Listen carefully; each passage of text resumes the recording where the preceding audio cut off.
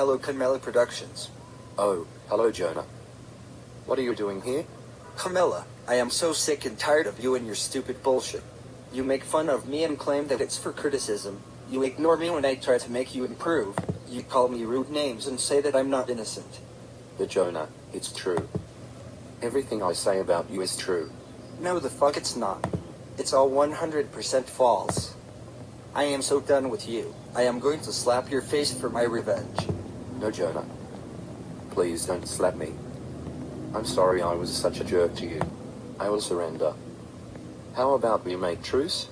It's too late for that Mr. Name Caller. I will slap you in three, two, one, zero.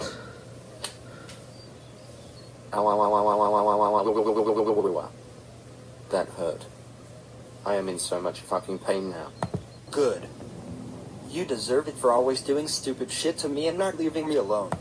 Now learn not to fuck with me and my friends. Goodbye forever, you idiotic psychopath. Jonah Campbell, thank you so much for slapping Kimela Productions. He deserved it for being such a jackass to you. You're ungrounded for 750 trillion years. Go do whatever you want now, you terrific user. Aw, thanks, Coven Noob. You're the best friend anyone could ever have.